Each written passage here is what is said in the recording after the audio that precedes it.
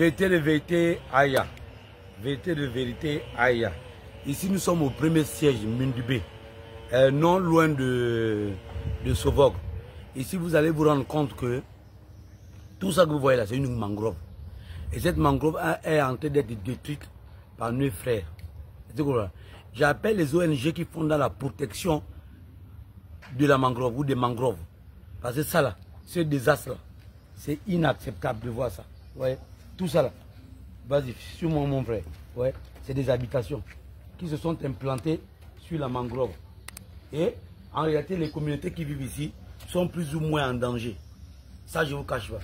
C'est inacceptable que dans un pays comme le Gabon, où il y a des ONG qui se battent pour la protection de l'environnement, mais on vit comme ça.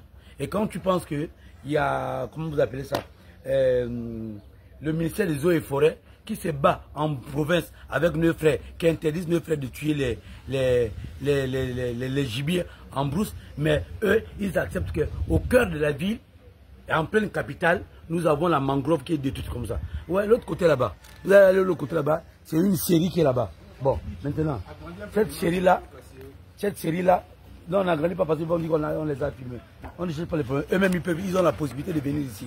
Donc, l'autre côté là-bas, nous avons une série. Si elle est légale ou illégale, pas, ce n'est pas notre problème. Mais on attire l'attention des hautes autorités que regardez ce qui se passe là. Et cette mangrove-là, quand elle est détruite comme ça, elle provoque aussi les inondations dans, dans, dans le pays. Donc, je dis bien, c'est inacceptable que les ONG qui se battent pour la protection de la mangrove essaient quand même de faire quelque chose. Alors, nos frères qui sont ici là, on peut les déloger en les logeant quelque part. Hein? Bon, big up à vous. Voilà, ouais, bien. Vous comprenez les oiseaux, non? Alors là, je suis avec euh, Karl Moudunga. Karl Moudouma. Ah, Karl Moudouma, ah, Moudunga aussi, c'est pareil. Tu n'es pas parenté avec les, la famille Moudunga, c'est la fin. C'est un grand frère du Moabi. Ah bon, hein? ouais, ouais. Bon, sinon, c'est que je veux interpeller un peu les autorités compétentes, en quelque sorte le ministre de l'Environnement et ceux du cadastre, parce que c'est infernal ce genre de comportement pour nos frères venus d'ailleurs. Tout à l'heure, on a aperçu, pendant qu'on fait le reportage, on a aperçu sur le bois des mers une série qui biche les bois, les billes de comètes dans l'eau. On ne sait pas si c'est légal ou bien c'est illégal. Il faudrait que nous, il passent par ici faire, faire euh, un état de lieu. Un état de lieu parce que c'est un peu infernal par ici. Et nous avons remarqué aussi que dans, ce, dans cet environnement, les populations qui vivent, qui vivent ici, qui font de la pêche, qui font du poisson. Et effectivement, ce poisson, lorsque la marée est haute, ces excréments qui finissent de faire dans leur domicile, ça se renverse dans, dans la nature. Et c'est pas du tout normal. Le poisson qu'on mange à Libreville là-bas, il y a partout dans les environs là. Le poisson fumé là. Le poisson fumé qu'on mange.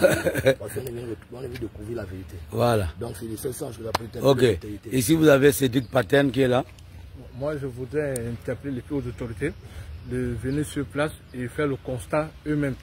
Pour ne pas qu'ils disent que tel ou tel ou tel ou tel ont parlé, c'est qu'ils viennent voir la réalité de, de, de la mangrove du, de, de Mindoubé.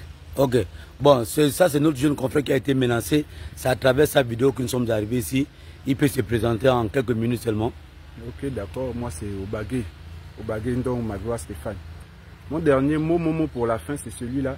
On se plaint aujourd'hui au Gabon de, l'immigration, qu'il y a tellement d'immigrés. Mais venez contrôler ici. On ne sait même pas si ces derniers, s'ils ont des papiers, s'ils ont des cartes de séjour. On ne sait pas. On ne peut pas. Si vous avez constaté les bras des mers là, c'est-à-dire qu'ils peuvent arriver, une fois qu'il y a le machin, ils accostent, leur frère descend tranquillement. C'est comme ça. On se plaint, mais voilà.